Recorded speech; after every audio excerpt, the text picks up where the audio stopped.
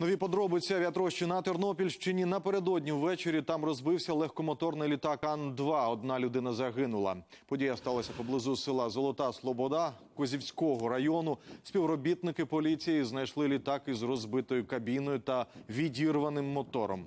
Поблизу лежало тіло пілота біплана. Що саме спричинило авіатрощу, з'ясовують слідчі. Унаслідок даної пригоди літак зазнав е, механічних пошкоджень, а особа, яка ним керувала, загинула на місці пригоди. Даною особою виявився е, мешканець Миколаївської області 80-го року народження.